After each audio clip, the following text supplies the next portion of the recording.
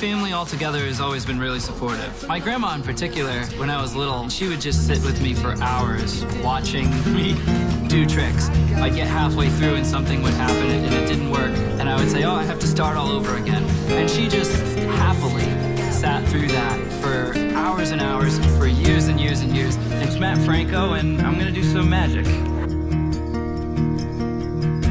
93 million When I meet girls, I feel like the they would just walk away immediately People if I was get like, hey, ready, get ready. 'Cause here it comes, it's a light, a beautiful light. Over the horizon, into our eyes. Oh my, my, how beautiful. Oh my beautiful mother, she told me, son, in life you're gonna go far. If you do it right, you'll love where you are.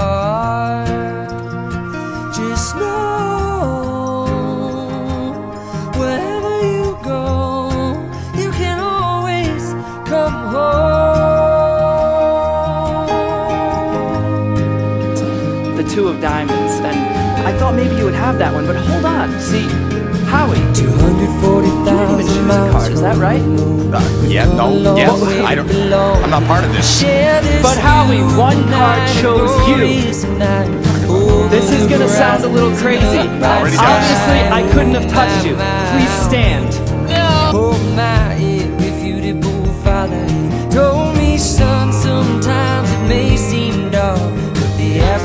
light is a necessary part.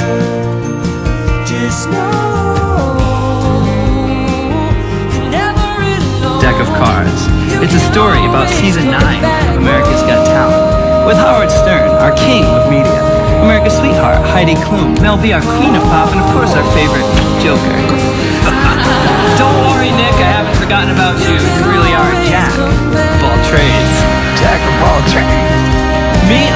25 years old, and sad as it may sound, this whole magic thing has pretty much consumed my life all the time, like 24 7, since I was about four years old. See, people often ask, where do you see yourself in 10 years? But even just five years ago, I never guessed that I'd be here on season 9 of America's Got Talent, hoping to hit the jackpot in front of an amazing full house audience here at the Dolby Theater.